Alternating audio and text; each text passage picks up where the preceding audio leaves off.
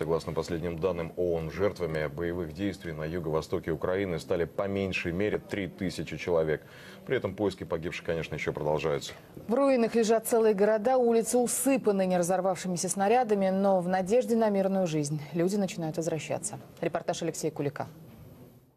В разбитые дома возвращаются люди. Обнаружив вместо квартир выгоревшие стены, одни остаются на руинах, надеясь восстановить то, что можно. Это все было сделано бабушкой и дедушкой. И вот бабушка моя, по- прабабушка моя, она осталась без крыши над головой. Но если восстанавливать уже нечего, уезжают искать новое пристанище. Может быть, у родственников или знакомых дома не так пострадали. Вот этот кусок металла, завязанный узлом, это все, что осталось от снаряда для града с БМ-21. Он пробивает крышу насквозь. Местные жители до сих пор не могут оправиться от шока. Говорят, это были несколько дней ада. По ним выпустили несколько сотен снарядов и ракет, которые разнесли полгорода. Их фрагменты до сих пор торчат из земли. Это соплот управляемой ракеты. Воткнулась в землю в двух метрах от гаража. Боец ополчения Дмитрий говорит, здесь работы не на одну неделю. Такого добра много, а также на территории больниц, как сейчас здесь в Иловайске, микрорайонах любых городов нацелено на массовое поражение. А так как скопления наших войск тут не было, то это было нацелено на мирное население. В поселке Колоска, Колоски, там э, у меня родственники, там через путя у них э, э, м, такая ракета высоту 7 метров, а глубину не знаю, а толщиной как ведро. Ополченцы армии ДНР, пользуясь режимом прекращения огня, защищают территорию уже не от противника, а от неразорвавшихся боеприпасов.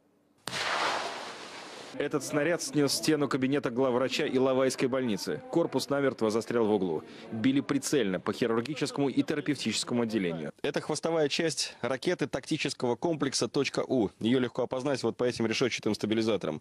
Радиус сплошного поражения 300 метров. Если бы она была в исправном состоянии, здесь, на месте этого здания, была бы воронка. Персонал больницы укрылся в подвале. Не было света. Хирург Михаил Головко показывает операционную. Здесь постоянно вытаскивали осколки из раненых. Цокольный этаж, подвал. Здесь лежали раненые. Это была операционная.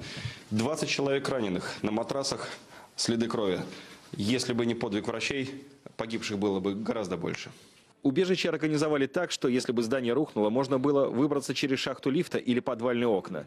Даже о воде подумали, если что, надломить трубу и по капле собирать влагу. А это склад медикаментов, реанимационные комплекты, физраствор, перевязочные материалы, гуманитарная помощь из России.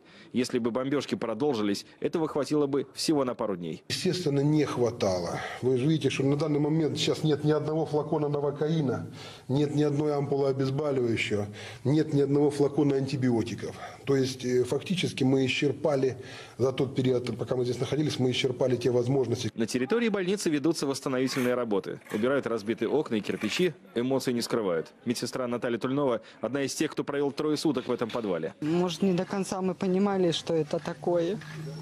Понимаете? Мы мирные люди, мы хотели мира. А нас так, я не знаю вообще. Не знаю. Это что у вас? Это осколок. Их таких много у нас. Мы, мы стойкие, мы выдержим все. Алексей Кулик, Азат Атагонов, Андрей Руденко. Вести. Донецк.